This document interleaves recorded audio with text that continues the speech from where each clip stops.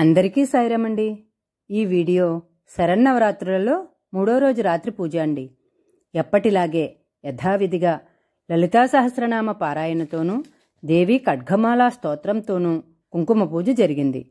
తరువాత కాలభైరవాష్టం కూడా చెప్పారు.